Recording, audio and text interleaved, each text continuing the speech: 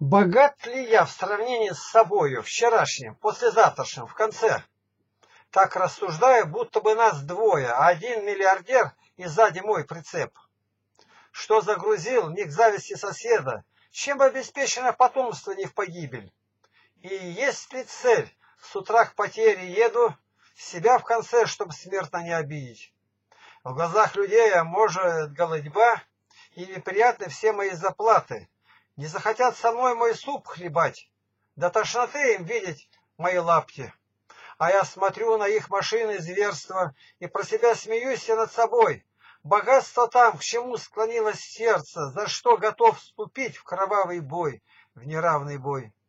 В обыденном, в житейском мой багаж вполне достаточно не сгинуть с голодухи, и в нищете пожизненный мой стаж не с голоду моим мозолям пухнуть без зависти друзьями окружен, любовью братьев и сестер загружен.